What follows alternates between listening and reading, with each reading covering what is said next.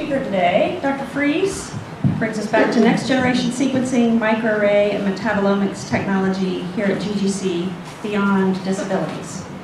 Happy with your microphone choice. Is it working all right? All right, good deal. Um, So this was my assigned topic, and I really obviously um, wondered what I was going to say after everybody else told you everything else, you know, the, the, the interest and uh, sort of a lot of the historical things related to, to GGC have been on full display, I think, today.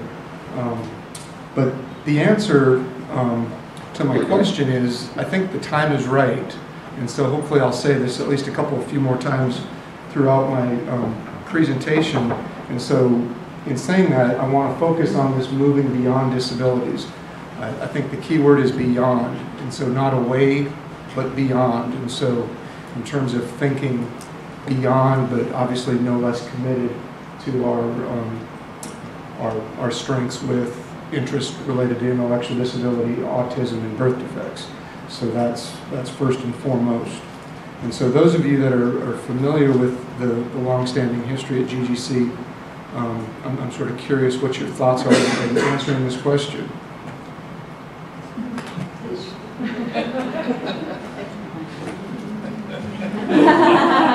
And so the, the right answer is hopefully D. Um, I'd also accept A and D and B and D. Um, C, hopefully not quite yet.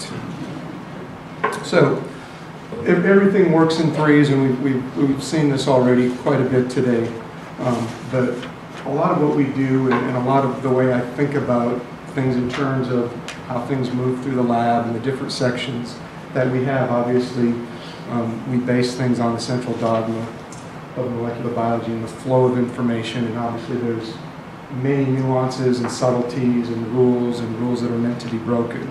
Um, but when we sort of shift this towards the whole world of omics, this is what it looks like.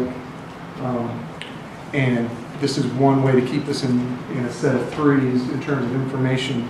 And before anybody jumps on me, I realize it, that the, the lab is not where everything starts, right?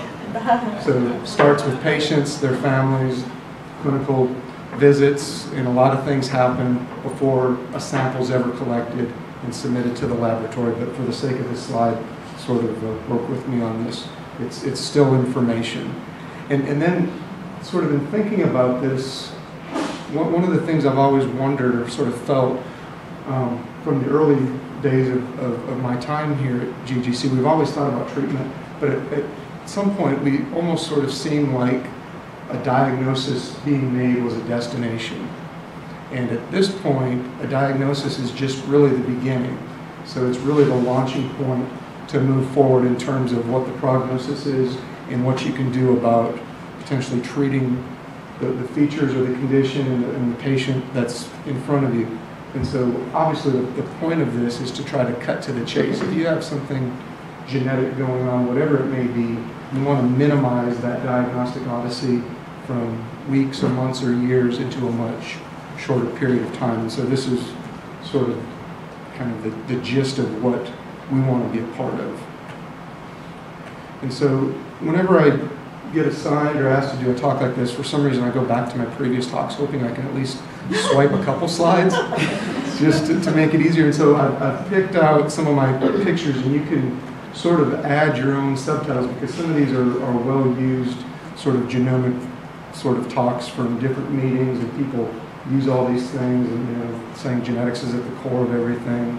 You know, genomics is like an iceberg. There's a lot more substance under the surface and genes don't work in a vacuum and everything has to work in concert. The, the picture on the right I just like because it's pretty. Um, and then the needle in the haystack thing comes up and obviously it depends on how big the needle is or how good your detector is. And this is another one where obviously we're dealing, at least from a DNA perspective, we're dealing with thousands of variants. And so, you know, I, I always, I always uh, enjoy hearing everyone's take on this. You know, Dr. Dr. Spranger made a great case for why you have to look at the patient, get all those x-rays, look at their hands. It, it sort of made me think, if somebody asks you, say, talk to the hand. but we're, we're dealing with a lot of information and we're trying to obviously cut to the chase. So when we talk about genomics, genomics has been around for a long time, and I think we all have a pretty good idea of what genomics really is or means. If you ask each of us to define it, it might come out a little bit differently. And, you know, for me, genomics often refers to the, to the toolbox. I've heard genomics being the toolbox of things that you have to work with to study genomics or complex genomics, and all these issues come up. And the other analogy I like to use is, is the following using the, the railroad in terms of DNA sequencing. So what once was a very manual, labor-intensive process, and you get to go very far, very fast, sort of moved to the next and became a much more sort of industrial endeavor, but with a lot of hot airs, sort of a lot of work involved. And, and what I'll suggest now is the, the train on the right is sort of where we're at. And I was trying to think through this analogy a little bit further, and I thought, okay, well, each one of those boxcars may be a chromosome's worth of information. And the engine may actually be health and well-being, basically driving everything forward. And then unfortunately, I got to the end and I thought maybe the caboose was the Y chromosome. And as you know, most trains don't have cabooses anymore. So I didn't really want to have that obsolete thought in my mind.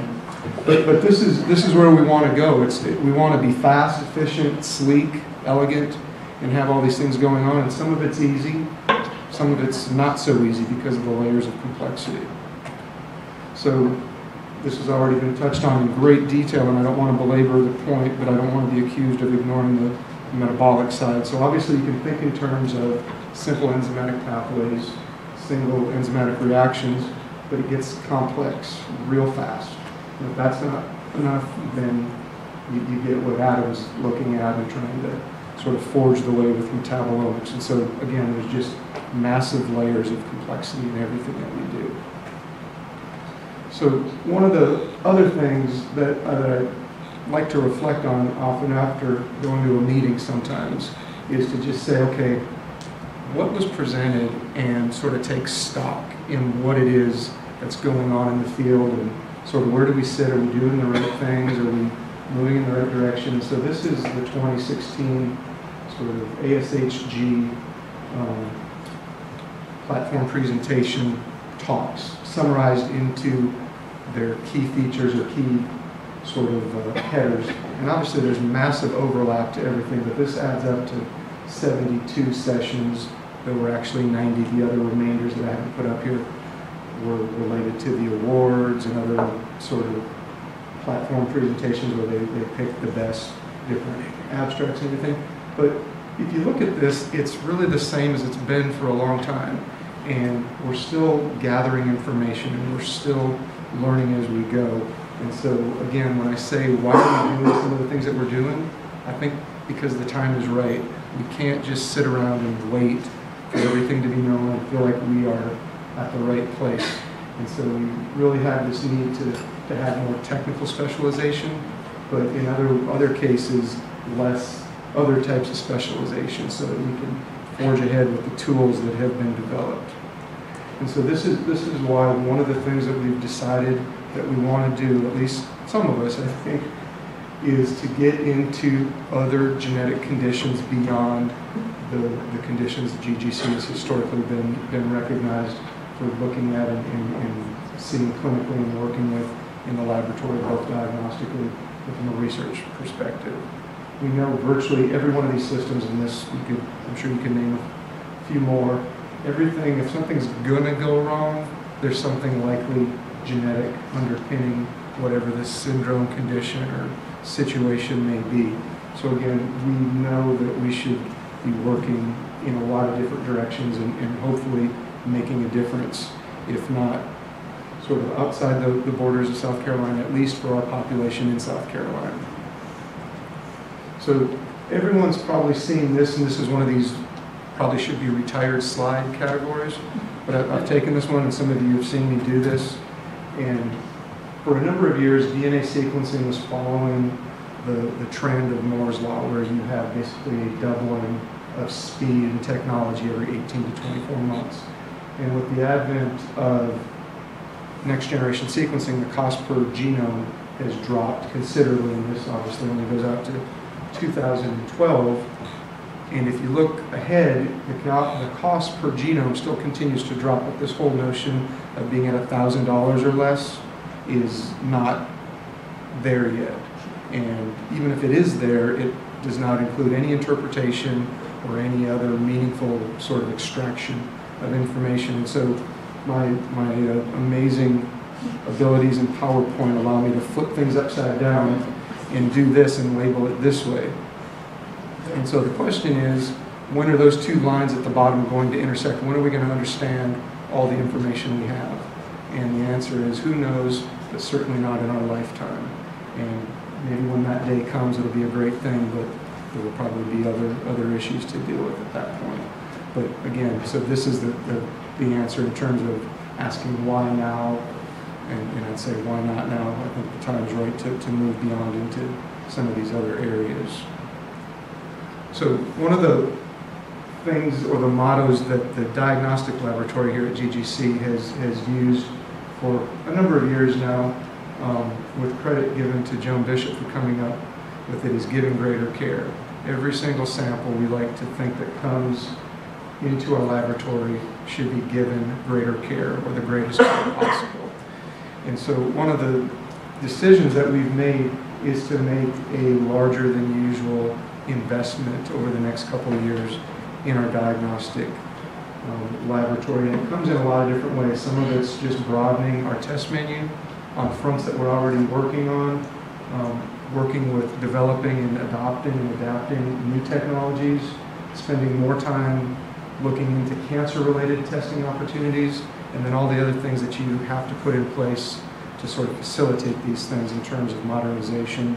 And then on the bottom, some of the, the business-related things in terms of marketing, having more visibility, and certainly working on the billing side so that reasons for samples not being submitted to our laboratory don't revolve around billing issues, whether it's internally or from others around the state, or hopefully at some point solving a lot of those issues for out-of-state samples from institutions that would like to, to be able to send things to us, but they can't because we don't have the right billing solution in place. This is more the same. The investment side is going to go towards equipment, some automation, certainly a need for more informatics and personnel to help things on all these fronts. We've made a decision to put a lot more effort into metabolomics, which is not just the only reason Adam was here, but because of our work related to the, to the research being done with autism and thinking beyond. We think metabolomics is a, is a big deal, but it's still sort of in its early phases of implementation, and we still have a long ways to go to, to learn as much as we need to, to know about it, to, to really sort of capitalize on the power that it brings, along with some of the other omics that we're already sort of a little more familiar with. Um, and then the other things just relate to industry-based contracts, the ability to, to work with clinical trials. We're already doing a fair bit of that, primarily related to work going on in the, the biochemical laboratory here at GGC. But the whole, the, the whole idea of, of showing this to you is hope, hopefully sort of uh, generating at least some ideas or at least the recommendation or suggestion that we might be in position to work with others outside of the, the, the GGC environment to, to work either with contracts or trials or, or whatever it may be. So one, one example I'll just give quickly on the oncology side is a product called OncoScan from Affymetrix, where it's a microarray platform that is able to use um, DNA isolated from FFPE tissue, and you can go through and see all the specifics, but it's intended to be a much higher resolution platform for oncology and allow us to, to target certain actionable mutations as well. And so there's a lot of reasons that this would be one of the things that we would want to put sort of first and foremost on our list of to-do things. One of those being we have a lot of experience with microarray technology. The other thing is, and you can go through the list, I won't read all these out, but getting towards the bottom, it shows that a lot of that information can be utilized for treatment-related decision-making. And not only that, a lot of this type of information can hopefully be sort of wrapped into nicer, more comprehensive packages when we start thinking in terms of not just CNVs as standalone issues, sequencing as a standalone technology, but incorporating metabolomics and anything else um, that you can think of in terms of getting a bigger and more comprehensive picture. And so, again, going back, Dr. Spranger wants more than one X-ray. In some cases, we want, we may want more than one test to give you a better idea of what's going on, especially given we have all these variants showing up both on array and on sequencing that we still are not able to define very well. So one of the other things is liquid biopsy. Um, and this, this is a term that, that gets used a lot in primarily being able, with, with conversation of being able to pick up cancer very early on before there's any symptoms. And one of the things I read, this is not my quote, but whether or not liquid biopsy is the stethoscope for the next 200 years, I- I'm not sure. 200 years is a long time. Um, But this is already going on, and you can imagine there's lots of different applications, a lot of different things going on. Um, Whether or not NIPT in the prenatal setting is a liquid biopsy, I I think you could argue that it probably is.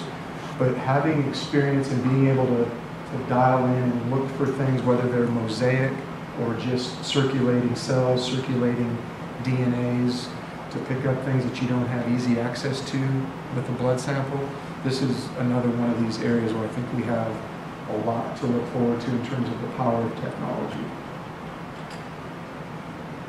One of the other things that's always asked is even with all the strengths that we have with microarray, with sequencing, everything else going on, why do we still have so many patients that don't get a diagnosis?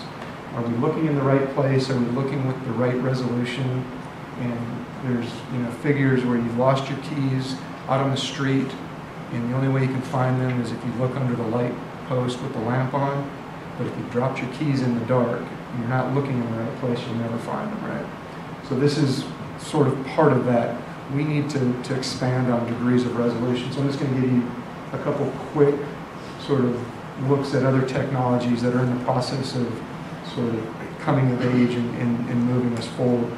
One of them is from a company called 10x Genomics, where you can use basically next generation sequencing with additional molecular barcodes to help map back short read data to the genome.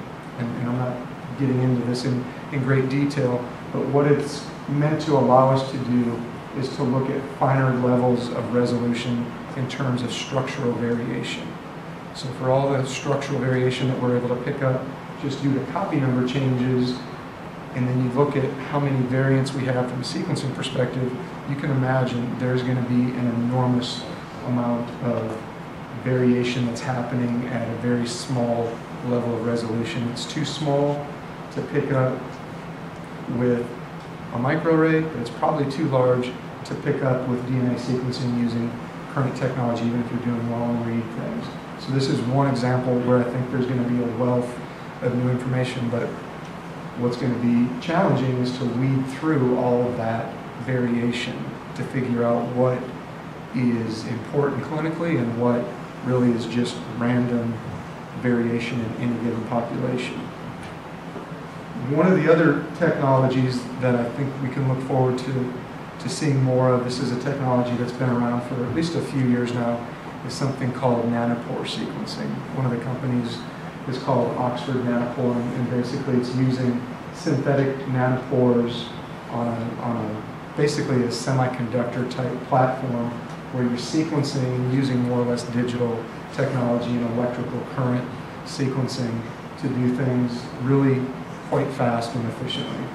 And the, the one thing I'll say about it is, um, you can't read this very well, but the SmidgION is the smartphone compatible sequencer. So literally, you might be able to sequence and plug it into your phone and be doing whatever it is you want to do. And so on, on, on that front, I'll, I'll just mention one other thing because I, I usually don't get into things like 23andMe and Ancestry.com, but there's a new company. How, how many of you have heard of Helix? So, some of you know about Helix. Helix is one of these new big companies out in California, Southern California, closely connected with Illumina. But part of what they want to do is create this world of apps to be able to play with your genome on your phone or whatever it may be. And there's an enormous amount of effort and money being invested into this. And whether you buy into this technology or whether you like the idea it, it's where there's a lot of interest and a lot of things happening. And so Helix's point is sequence once, query often, and to be able to do lots of different things. And some of us think, well, that's not a very good idea. Um, but it's, it's where we're going. This is where there's a lot of people pushing to make sort of genomics and your, your genomic profile very available so you can do with it as you please. Um, and the only thing I'll say in addition to that is it, it sort of brings back this notion of a, of a rising tide um, raises all ships. I think this is part of what's happening with genetic literacy. So as people become more familiar with technology and what DNA really is, what it means, and how it's utilized, we'll see a lot more of this in the future. The other reason that I say the time is right is just look in GeneTests. Look at the enormous diversity of tests that are out there. And the interesting thing is, and I know GGC is not the only lab in South Carolina doing business, but if you go in and look under the labs, I guess you can search by state. And at least for the time being, GGC is still the only lab listed in South Carolina. But we've got plenty of people knocking on our door, and I'm sure everyone does, you know, sales reps and other people, you know, trying to, to tell you what they're doing, whether they're from Invitae, GeneDx, wherever it may be. And this is again part of this sense of urgency to, to remain relevant and to get into some of the other fields of genetics that we think our state needs. Um, there's a there's a resource called ClinGen, and this is something that I'm a part of. And I'm not sure how many people know, but ClinGen is sort of a partner effort to ClinVar, clinical variation, and it's a funded um, program through the NHGRI along with a couple other funding sources. But the goals are basically to centralize a lot of the database things that are going on right now, so that you don't have to have your own sort of private um, database and, and uh, information. This is a way to open things up to, to make things readily available. So if somebody's learned a lesson from a particular variant or a particular gene, that a lot of that information can be consolidated and everybody should have access to it. So you'll, you'll see more of this in ClinVar, I think, in the future. And let, let me just close with, with a couple more slides. Um, I would say this should be assigned reading for all the trainees in, in, the, in the room right now. Um, it's from Natasha and Jonathan. Um, Jonathan's one of the, the big drivers of ClinGen. He's, or they're both up at UNC Chapel Hill. And I'm not going to get into this, but the thing I'm always curious about is point four.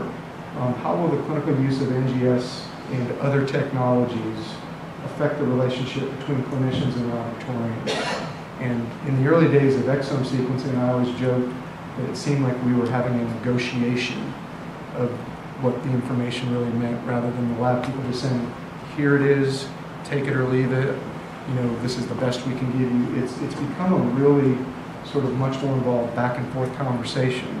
And whether you can stick the landing on the first review and find a de novo mutation and make a diagnosis, that's great. But if you don't, you know, you're going to be back looking again and hopefully um, having a good relationship um, with your local uh, lab is a, is a good way to, to facilitate that. So I don't have, well, I do have a summary slide, but it's a little out of the norm, so I'm, I'm a little hesitant to do this, but I'll do it anyways. Um, Shifting sands in the diagnostic world. I I don't know if I was in my office too late or delusional or what, but feel free to read along if you'd like, okay? Change is inevitable. Science advances. Strategies fluctuate. Partnerships realign. You gotta wait for it. Get over it. Find help. Evolve. Technically, genetically, and genomically. And you know why? Politically. No, the time is right. So that's it. Thank you.